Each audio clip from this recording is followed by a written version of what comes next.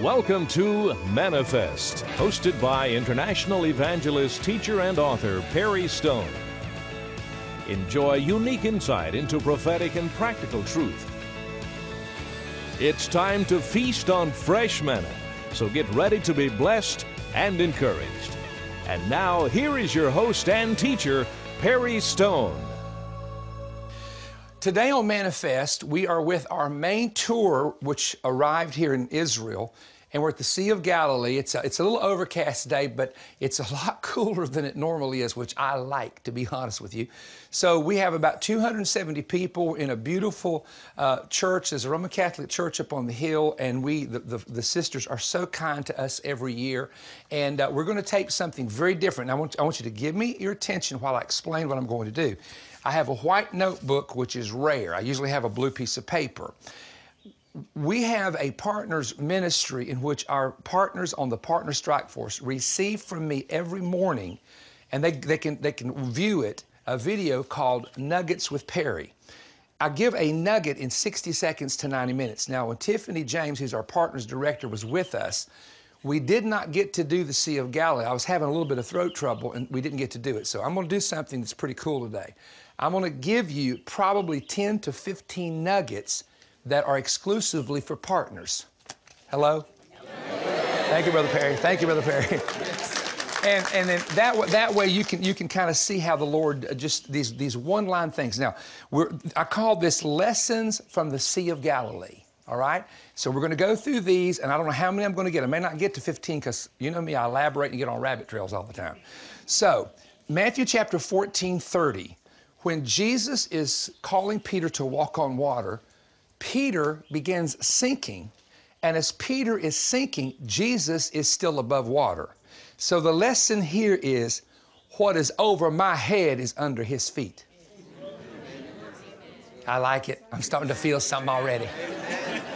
Okay, now think about this. So, in your lifetime and what you're dealing with, what overwhelms you and appears to be taking you under is already under the control of Jesus. It's already under his feet. And then in Romans, Paul said, The very God of peace shall bruise Satan under your feet shortly. So if we are a part of the body and he is the head, that means we are a part of his feet. And if we're a part of that feet in the body, then everything that the enemy tries to do to us, when he tries to sink us in the storm, it's always going to be under the feet of Jesus. Okay, that's a nugget. Here's nugget number two. We get this from Mark chapter 4, verse 25. you ready?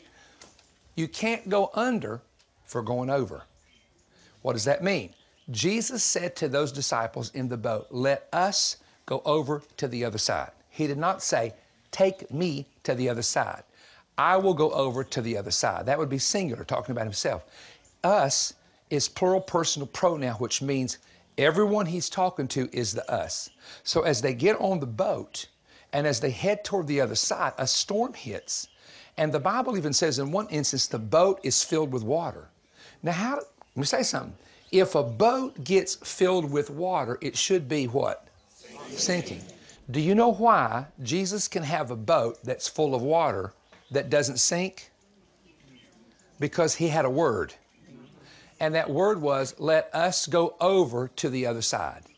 So here's the point when you have a promise, I'm going to say it this way you can't drown a man who's walking on a promise.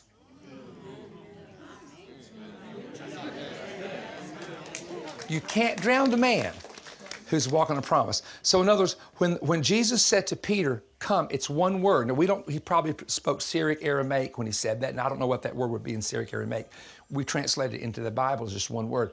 But when Peter is walking on the water, he's actually walking on the Word.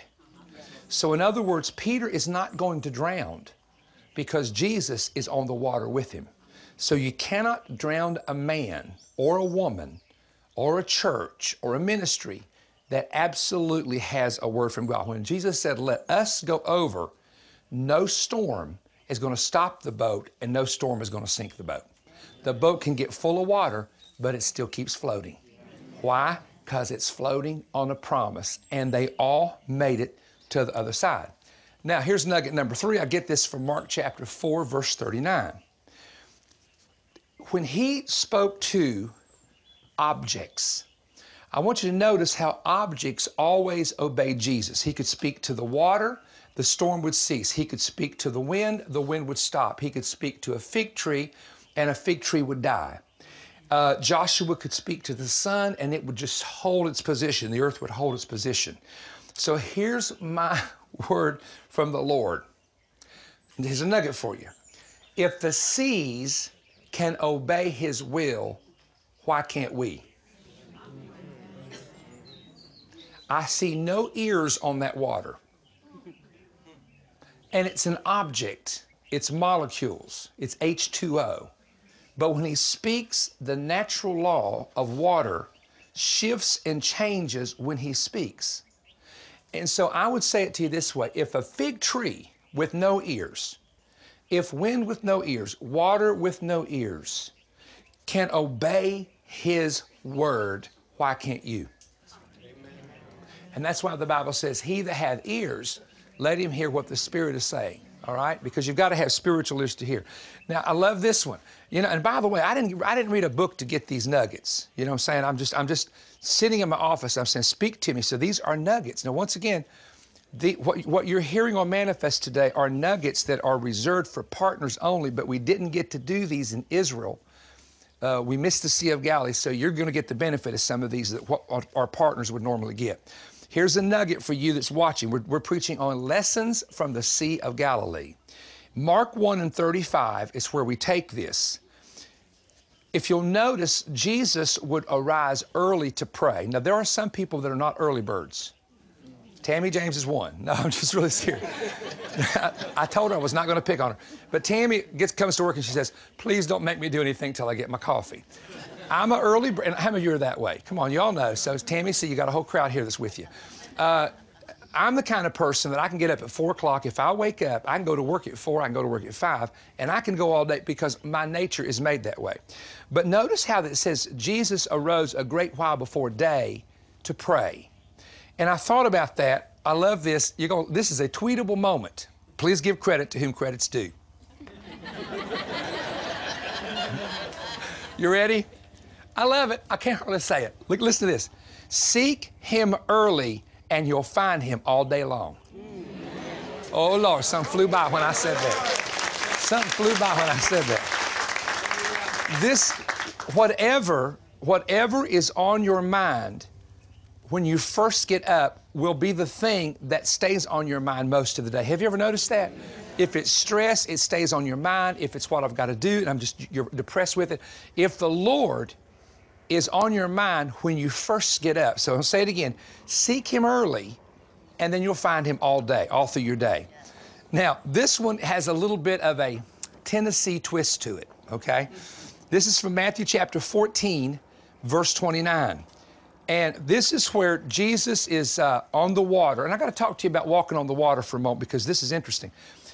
Uh, let me, let me backtrack, and before I give you the nugget, let me backtrack and share this with you. Okay, Jesus is Okay, let's go. Let's let's let's let's just set this up because when the disciples are in the boat rowing to the other side, and they look on the water and they see Jesus coming, they say it is a spirit, or it is King James says it is, it is a ghost. Now, the reason they didn't recognize Jesus is he was coming in a form they were not familiar with. Many times, ch- different churches have different rituals or style of services if you are not familiar with, let's say, uh, charismatic worship, Pentecostal worship, they call it, where people are raising their hands and clapping, and you come from a background where you, you've never seen that, you will walk in and not be sure about what's going on because you were never taught. So, in that, using that as an illustration, the disciples had never seen Jesus walk on water. Now, here's, here's why they were afraid. Mendel Nun, who wrote a book called Fishermen of the Sea of Galilee, stated that according to tradition in the time of Jesus, if a fisherman, and they all fish at night, by the way, okay, and they're rowing at night, if a fisherman sees what appears to be an apparition on the water, now follow me, it is believed by the fishermen it is a dead fisherman's spirit showing them their boat's going to sink shortly. So, this is so funny. So there is a spirit on the water and somebody says, I think it might be Jesus. And Peter says, Lord, okay, that's an address, a formal address to Jesus. Lord, Lord, Master, if it's you, bid me come. Now, here's my question What if it ain't him? So it's kind of a contradiction to call him Lord. He didn't say, Lord, bid me come. He said, Lord, if it's you, bid me come. And it, it always puzzled me. Why did Peter want to walk on water? This makes no sense. Is he like going to say, man, I really get to tell my kids and grandkids something one day? You know, I'm the only dude in world history that ever walked on water with Jesus. Why do you want to walk on water? I mean, if I'm on the boat, I'm gonna, I know he's coming toward me, and I'm going to wait till he gets in the boat. If Peter understood, which he would have, the tradition, he'd say to himself, if this boat's sinking, I'm stepping out of it and going to the guy walking on the water. Did y'all just get that? Now, I'm not adding to scripture, I'm just saying if he knew that tradition, maybe he's felt like it's safer out there than it is in here. All right. The interesting thing is, Jesus says one, now our English translation says Jesus said, Come, which means get out of the boat. Come on, let's, let's go. And Peter starts walking on water. So I'm sitting there reading this, Matthew 14, 29. I love this. Here's another, here's another nugget for you. Ready? this is just funny. One, I'm gonna have to say it in Tennessee accent. Ready? One word from the Son will get her done.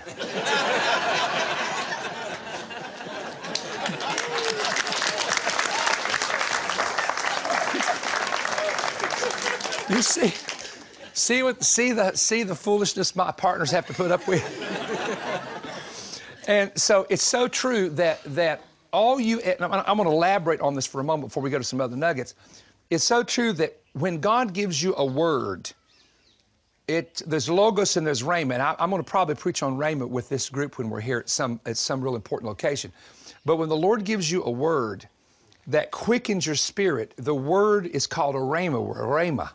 And it is a quickened word for a specific, particular situation for a specific time. I'm going to give you just an example, if I can, from our own life and ministry. Um, let me think. Several years ago, it's been many years ago now, um, I was uh, engaged to get married as a young man and broke off the engagement. And I'm, I'm standing in church in Northport, Alabama in 1980 in the month of February, and the revival was extended beyond, it went four weeks. And I'm minding my business, and I had just broken up with a young lady, and I've got my mind on the Lord, I'm worshiping, and I'm looking at the youth group over here on the left side. And all of a sudden, I see a girl. I can tell you what she had on. She had black out, black dress on, skirt down to the knee. Ooh, holiness, hallelujah, glory to God. you, you, you old timers will understand what I'm saying. It's, a, it's kind of an inside joke to the old timers, okay. She had long sleeves on, frilly, and this is Alabama, little frills here, little frilly neck, just really cute. And I, when I, when I preached, I didn't go, I didn't date girls in revival. My bishop, my mentors told me, don't do that. That's not good. So I just went to preach. That's what I did. I'd go out with all the young people and so uh, I'm looking, and she's just over there, and I can tell what color hair she had. She's just going. and I'm just looking at the young people, and I see her on the corner, and I hear this. That's the girl you're going to marry. And it, it, it, I heard it, and I went, Satan, I bind you in the name of Jesus. Coming against me right now. I'm trying to focus on Jesus. You get out of my mind. And I really what I just, and then I, I, I waited and refocused. And then I'm telling you what really, ha- this happened just like I'm telling you. And so I'm looking around this choir singing now, and then and then and then I look again, and they're all standing up, and she's just over there. And the Lord says, "I said to you, the reason you broke up with the other girl is I had this girl for you. This is who you're gonna marry, bro. Listen." It went from my head to my spirit. You understand what I'm saying? No, it wasn't. It wasn't a, a mental thing then. It was a thing that was a rhema, and it became alive. And I said, "Oh my goodness, I don't even know her name." I mean, I don't know nothing about her. But Lord, I feel this in my spirit. I'm really feeling this in my spirit. So then they have prayer, right? I didn't have glasses back then. Let me take my glasses off. Hope it's doesn't bother me. so I did, I, you know, I'm, I'm, thinking to myself, wow. And I, I, so I did the Bible thing watch and pray. So I shut one eye to the congregation. this eye was shut. So everybody thought I was praying. And, I, and that's when I could really see well without glasses. And I went,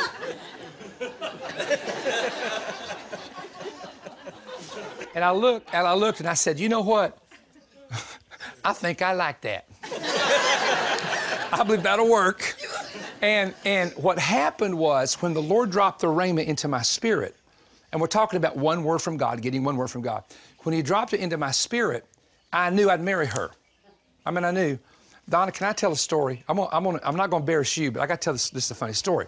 This is how real God is. Donna, who's been our partners director uh, uh, in times past at VOE, was a little girl. When I preached at North Cleveland, when I was dating Pam, how old were you then? Eight? Um, 10. You were 10. And I stayed at y'all's house. Now, I don't want to embarrass. We're close. All of our family are like. See, we've been on all of our. How many? How many people are in your family? And they're like. Thirty-two. Thirty-two in one family. Okay. Her daddy married me and Pam. When her daddy was the evangelism director of Alabama, I was still dating another girl, and I go to Joe, Pastor. I just met him, Joe. He, he's the guy. He's the guy that got me to Northport.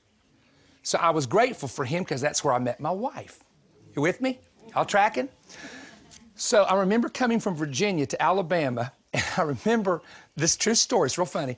I remember Pastor Joe, who was the events director. I went to the office. I said, "You know, Perry, good to meet you, and this and this." And he, I said, he said, "Now, uh, do you have any plans? Are you?" I said, "I'm dating a girl from Virginia. I'm going to get married because the Lord told me I was going to marry her." Now, listen. Let me just stop for a minute. All you young people, there's probably going to be five people you meet that you think the Lord told you you're going to marry them. It's true. And, and, and it, obviously it wasn't the Lord, okay? But I got to tell you something funny about her sister, because we're very close friends, and Pam knows this story, and we laugh. We've been on vacation, we laugh about this story.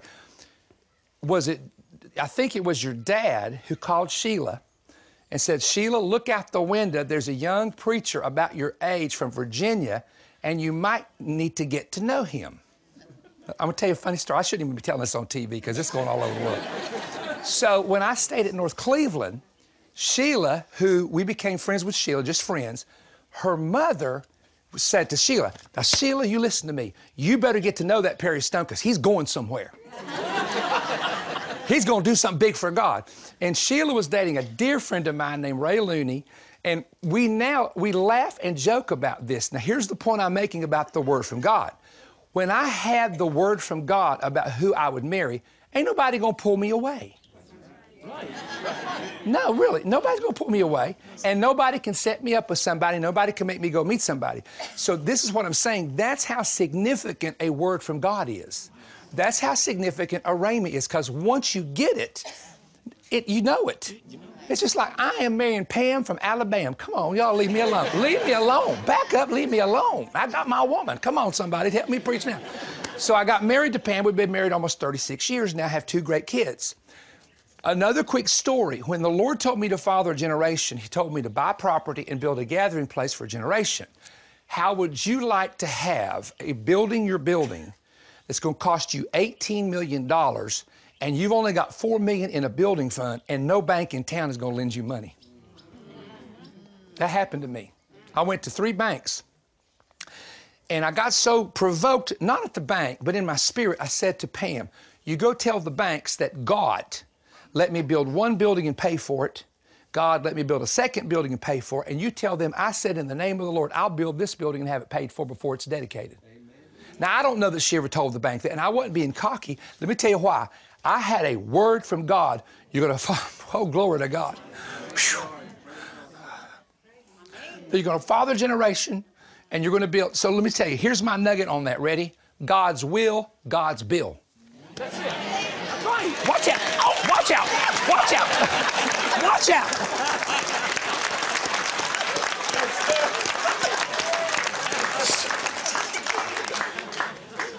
No, and I, and I kept saying, God, I'm not doing this to do it. This is your will. And if it's your will, you got to pay for it.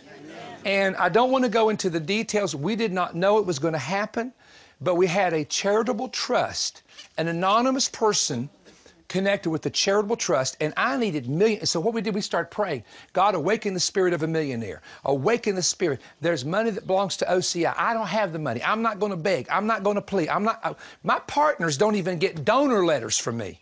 I have. Where's my partners? Have I ever sent a letter asking for money ever? Never. Ever. No. We don't do it. We trust God. And an anonymous person through a charitable trust in three years gave our ministry $11 million. We didn't know it was coming. We didn't know it was coming. And so my, my point is when you have, let me go back to the nugget. One word from the Son will get her done. When you have that quickened word, and it's burning in you, and nobody can pull you away. It's like it's almost like if the Lord tells you to marry a person, and it doesn't look like it's working, but you got a rhema, don't fuss and fight. Sit back and say, "Hey God, you're gonna work it out. I'm, I'm chilling. I'm moving on. I'm going with God because you're gonna have to work it out, and just live your life in faith." believing that time will come that God will bring that person into your life. Or if you're pastors, if you're building a church and you know you're supposed to build it, you go for it. You go and trust God. Whatever it is that God is telling you, remember, Jesus said one word, Peter stepped out of the boat. Don't step out of that boat till you first get that word that burns in your spirit. Then you know, hey, it's like people sometimes will move to Cleveland and they say, We saw you on TV, we love OCI, we want to rate, and they have no job, they have no home. You need to be like the, the spies and go spy the place out and get set up before you move. Hello, I'm preaching to somebody now. Know what you're doing first. Get a plan. Joshua didn't just say, hey, let's go take Jericho. Woo! He waited till he got a plan. Get a plan first before you make decisions. Get plans before you move. Check out things before you make a decision. That's wisdom. You may have the word, but the timing might not be right. But when God begins to open doors, you see doors begin to open, then you understand now is my time to step in. Now, what we have done, check out the page. See here? Here's part two. Here's part three. We only got to part one. I warned you before I started this program that I am a rabbit trail man. But I hope, I hope that uh, you've received this. And Don, I didn't know I was going to do that, by the way. So text Ray and Sheila and say I'm going to talk about them on the program, okay? so this is a great family, great friends of ours. We appreciate them being with us. But thank you for joining me on the Manifest telecast. It's a beautiful trip. If you ever get a chance to go with us, please do. These, how many have never been here before? This is, how many of this is, a whoa, stop. Stop. How many have never been here before? Raise your hand. Do you realize that's like 95% of this crowd? Oh, these are the rookies. We gonna have a good time. These are the rookies. We gonna have a time. Bless him, Jesus. Look, we you've not been with me when I've not been on the pr- telecast just preaching. You ain't been with me in my comedy mode or my off the beaten path mode. It's crazy. We're going to call it a crazy tour to the Holy Land with Perry Stone. Okay? but, but thank you for joining me. I hope these inspires you today. I hope we gave you a word that you can use. And uh, just uh, stay tuned. What we do is we, we always have new material to keep the program on the air if you purchase it. And then we tell you where we're going to be. We got some great things coming up this year. I don't want you to miss it. So thank you and God bless you. And how many of you are just glad to be here? All right.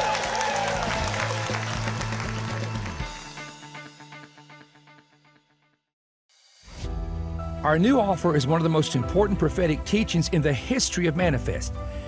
Hebrew expert Bill Cloud and I teamed up on this 10 hour teaching to unlock the mysteries concealed in Israel's seven festivals. This album has 11 DVDs that are 21 30 minute lessons. They include illustrated messages and charts and pictures to enhance the details of the research. On the first DVD, I explain God's seven appointed festivals along with God's prophetic calendar. Bill Cloud then shows you a complete Passover Seder and explains the mystery of unleavened bread, unlocking its prophetic purpose, including the revelation of the Messiah. I then follow up, taking you on a journey to illustrate the prophetic layers found in the Festival of First Fruits. Bill presents the fourth festival dealing with the powerful significance of Pentecost and its impact upon us today. On DVD number six, I will explain the three fall festivals and how they are yet to be fulfilled, showing how trumpets and the different shofar sounds on that day encrypt the mystery of Christ's return for his bride and the resurrection of the dead in Christ.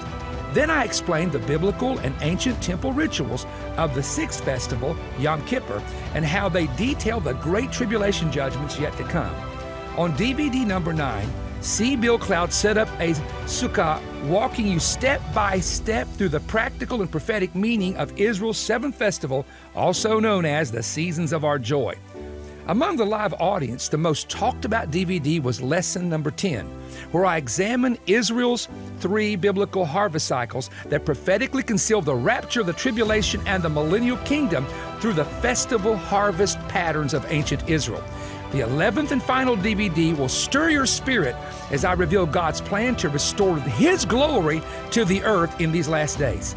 This teaching introduces to the viewer unique Hebrew word studies, fresh biblical insight, unusual Jewish customs, and exciting prophetic truth, helping you to understand the future according to God's festival calendar. It was preached before a live audience of ministry partners, and this teaching was originally designed as a Perry Stone Bill Cloud ISO Bible course that normally is $150. However, right now you can receive the 11 DVDs as a limited time offer in an album for your donation of $75 or more. To order your set, go online at perrystone.org, call toll free 1 888 21 Bread, or write the ministry and send your donation of $75 or more to Perry Stone P.O. Box 3595, Cleveland, Tennessee 37320. Now remember, when writing or calling, use offer number 11DVD101. Help keep Manifest on the air. I'm looking forward to hearing from you. Don't you miss this fabulous offer. It's only for a limited time, and you're going to learn so much you won't believe it. Watch your screen right now. This is where I'm coming to. Wednesday, May 1st, Bethesda Church in White, Sulphur Springs, West Virginia. May the 3rd through the 5th, Griffin First Encounter Life Church in Griffin, Georgia. That's one of our big conferences. Wednesday, May 8th, Family Christian Center in Munster, Indiana. Then in Sum- Sumter, South Carolina, Bethesda Church of God, and that will be May 31st through June 2nd. And of course, Redemption Church in Knoxville, where we go every year, June the 7th through the 9th. I hope that you'll be able to attend and drive in and join us in these great conferences. You know, there's something that's happening, and I'm, I'm saying this sincerely. I've been preaching now for over 40 years, and I believe that we're coming into the stages of a revival, and here's the reason why. The world is in such terrible condition. The nation is in crisis, uh, great divisions, and when these type of things happen, the Holy Spirit many times will sovereignly begin to move. We just concluded a Warrior Fest. and I want Charlie to put some clips up of this, where a total in two Warrior Fest of 8,000 kids came.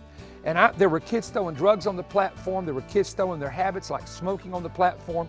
There were hundreds saved and hundreds baptized in the Holy Spirit. At the same time this was happening, Karen Wheaton had a ramp going on. It was packed. Tommy Bates had a youth meeting going on. It was packed.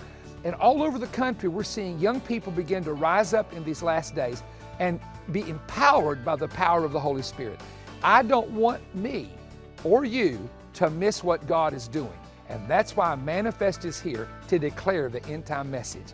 Hey, I'll see you next week on Manifest. Perry Stone invites you to join him for his 2019 Israel tour. The dates are November 25th through December 4th with an optional visit to Petra in the country of Jordan. Call 1 888 321 3629 or visit perrystone.org for more information and how to register. Seating is limited, so call today.